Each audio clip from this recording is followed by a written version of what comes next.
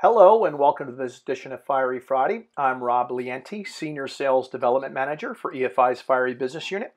And today I'm going to show you how you can create customer soft proofs using Fiery's image viewer.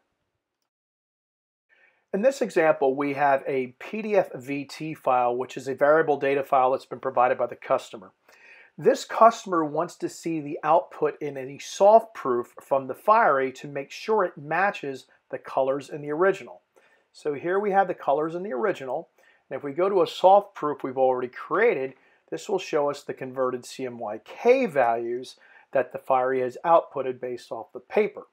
So again, we can go between both of them to make sure they are within the specifications for matching. So how do we create the soft proof using the Fiery? I'm going to show you. We're going to do this using Fiery's image viewer.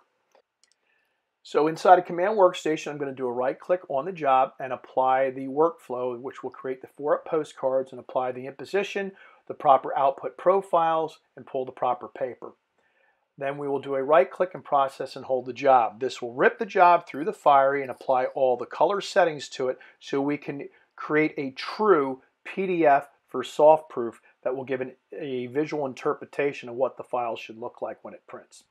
Next, we'll right click on the job and select Image Viewer. Depending on the Fiery you have, this is either standard or an option. So you'll have to check your Fiery to see if it's available.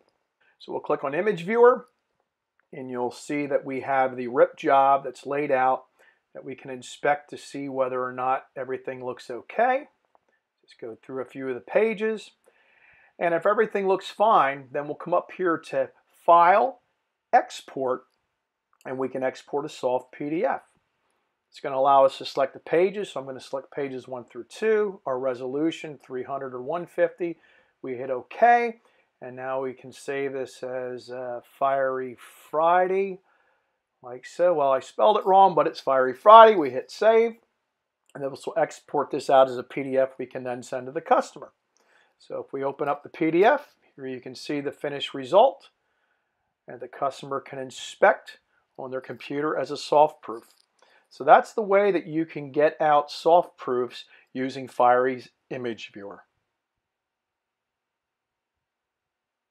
I want to thank you for joining me for this edition of Fiery Friday. If you have any questions about the video you saw today, or you would like to sign up for a free 30-day trial that includes Image Viewer, please feel free to reach out to me at rob.lienti at efi.com or message me on LinkedIn. Have a great weekend.